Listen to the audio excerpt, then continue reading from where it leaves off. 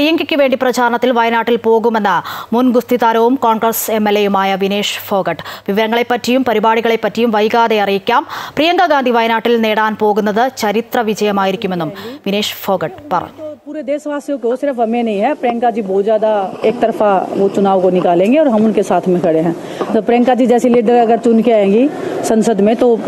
आप देखना ये जो 50 परसेंट जो आबादी है उसकी ताकत कितनी बढ़ने वाली है